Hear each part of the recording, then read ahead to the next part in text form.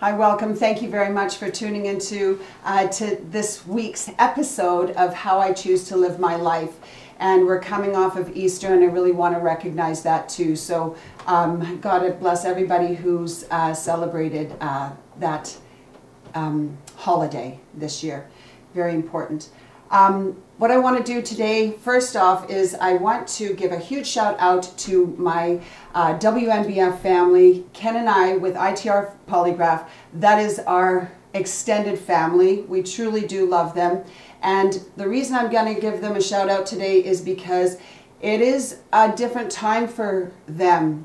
Charlotte and Leo King president and vice president of the WNBF Canada. We would normally be with them celebrating their upcoming events for the spring shows. One in Vancouver, one in Winnipeg, and one in um, Calgary, coming up in the month of May. We would normally be uh, polygraph testing every one of their athletes as they're all natural and they prove it with a polygraph. This year we're missing them all. And as they are um, canceled due to the um, horrible um, COVID virus globally affecting everything. Every um, organization and federation is, is uh, asked to close their events. They are no different, and they have respected those rules.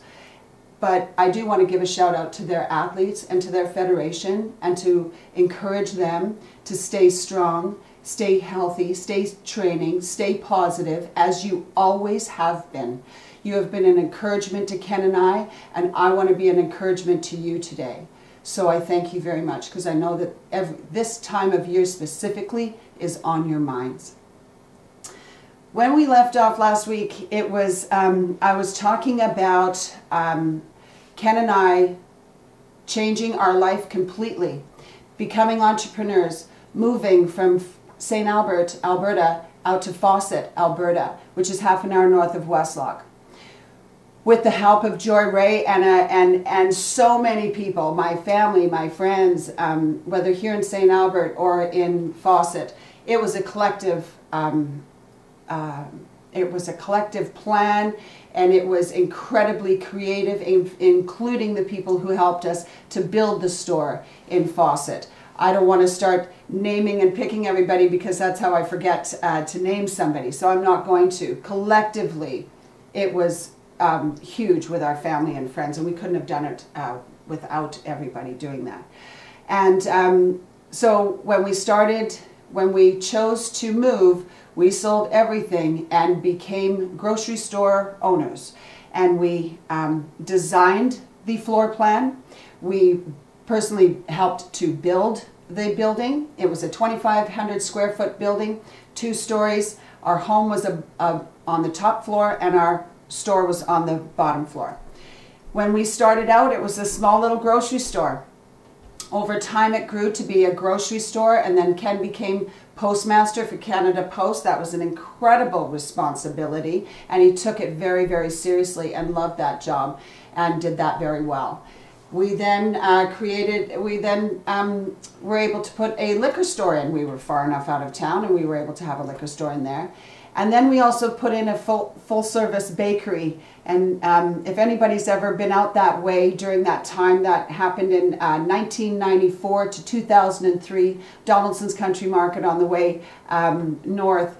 Uh, might have stopped there for some baking and it was absolutely delicious. We had all kinds of breads and bakings and everything. And, you know, though it was all great, there were all kinds of things that went on during the time that you could never foresee. And whether it was things to do with the building itself, maybe some of the, um, you know, we had, we had um, coolers that depended on the water. But sometimes in town we ran out of water, so then our coolers wouldn't work. So how did we solve that problem and things like that? But I want to tell you something. I want to um, give you a little bit of encouragement today and tell a little bit of a story because when we started the store, we had our one son, Alexander. He was two. And then I did suffer a miscarriage shortly after, um, you know, Alexander was born and we were wanting to have a large family, and so we tried again, and sadly I did miscarry. Then uh, that was in, uh, Alexander was born in 1992, but then we did have a daughter uh, born, her name is Paige, uh, 1996. But then I did suffer a later miscarriage that was very, very hard. Um, I did require a D- DNC, and um, it was shocking. And it took incredible long time for me to conceive again. But then I did conceive again. And there was a time, and I would like to um, just say something. I graduated from Paul Kane High School here in St. Albert, and under my in my um, graduation uh, book, um, under my picture, it says in my ambition. I wrote at that time when I was 17, 18 years old when I graduated high school. I wrote under my ambition that I wanted to be in hotel management, and I also wanted to have a set of identical girl twins. I wrote that back then. I went throughout my life and I would like, I always said that I wanted to have four children by the time I was 30. That's a huge different thing than what people are doing now, and I totally get that. But that is how we did things back then, right? Um, so I had said I wanted four children by the time I was 30. But I'd had Alexander and I had miscarried, and I had Paige and then I miscarried. I'll tell you, I begged God all the time, please give me them back in twins. Please give me them back in twins. I was coming up to my 30th birthday when um, I found out I was pregnant. And um, it was incredible. But then time went on and it was like I was miscarrying again. So I came from Fawcett and I went to the St. Albert Hospital here in, um, here in St. Albert. And um, I said, I think I'm miscarrying. And they, um, they immediately took me in and did ultrasound and everything. And something wasn't quite right. Nobody was talking to me. They put me back in Emerge. And, um, and then the nurse said, just wait here. And when she came back in, she came back in literally carrying a set of twins that must have been born just recently. And she brought them in. She says, You're not miscarrying, this is what you're having. I was completely blown away. And so I'm sharing that story with you and all of these stories with you today to give you some hope and some encouragement that things may not go as planned all the time.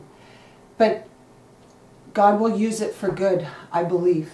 That's how I see it that we're going to go through many trials and many struggles. I suffered, I went to many, many, many, many funerals, more than I could count. I lost track of dear friends and family when we lived in Fawcett. Maybe that was preparing my time, my heart for a different time. But I want to just leave you with um, this, passage, this passage today. I want to say a huge shout out to the, to the men and women and, and the crew members that are still on all different kinds of cruise ships all around the world. Their borders are closed to them. They got all their passengers off safely. Everybody's going back home. And, um, and I pray for the people who had passed away. I pray for the people who um, are recovering. And I also pray for the people who got home. That's awesome. But there are still many, many, many people, uh, crew, who are still on those cruise ships all around the world. And I ask for your um, your prayers and your blessings for them. It's a devastating time for them, and I hold them up. And one of the reasons why I want to just read something today is um, to give you some hope, to understand that things don't always go right, and how are we going to handle that?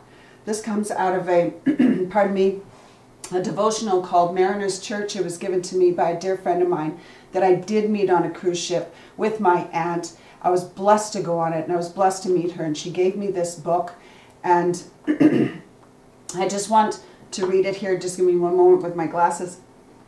It says this, and give me one moment. I'm just going to actually, I do have a cup and I want to give a shout out with my WNBF Canada cup. Hang on just one sec.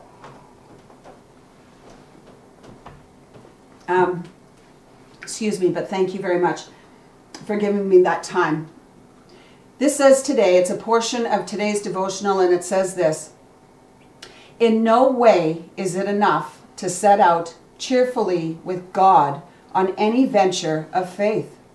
You must also be willing to take your ideas of what the journey will be like and tear them into tiny pieces. For nothing on the itinerary will happen as you expect. Your guide will not keep to any beaten path. He will lead you through ways you would never have dreamed your eyes would see. He knows no fear, and he expects you to fear nothing while he is with you. That's huge. That's a massive, massive um, message. But it is on point with everything that's happening today, and it's on point with everything I said today. And I really hope that you find it encouraging. So um, maybe that's something you can ponder this week. But however your circumstances, let's try to be positive in it and do the best we can. Have a great day and thank you very much for tuning in today. I'll see you next week.